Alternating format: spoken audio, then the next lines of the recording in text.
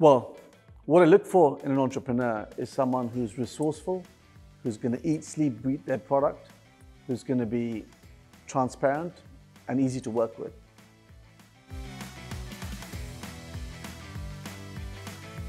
I think as an entrepreneur, you have to try and take risks, try and initiate things, take action immediately. Don't wait and sit around for the perfect moment.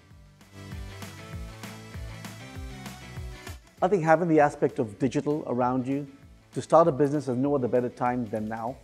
The friction of setting up a business has been taken away. Go online with a few clicks, register your company, your trademark, start accepting payments from people all over the world. AI is going to be a really useful tool in business and help do things and allow people to make processes much quicker. And I think it'll be a game changer, but it'll take time to filter through and people need to accept it a bit more.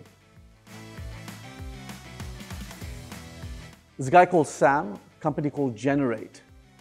He came in and did one of the most memorable, amazing pitches I've ever seen. Extremely articulate, a complex sort of business, a tech company, but explained it so simply, grabbed the attention of all five dragons, everyone made an offer.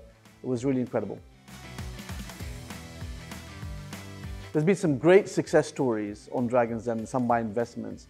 There's a company I invested in called Look After My Bills, an energy switching company. So you, you sign up to a gas bill, for instance, and automatically every 12 months, it switches you to a cheaper provider.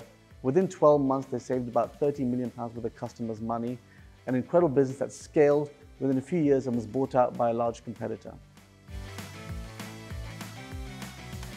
So downtime for me is music.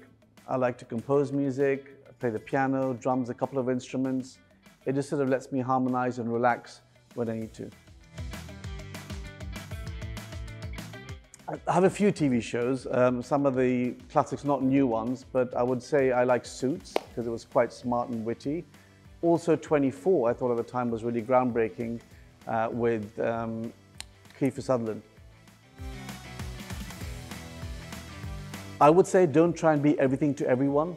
Try and focus on a niche and be the best in that. Hi, I'm Tej and you're watching DXB Today.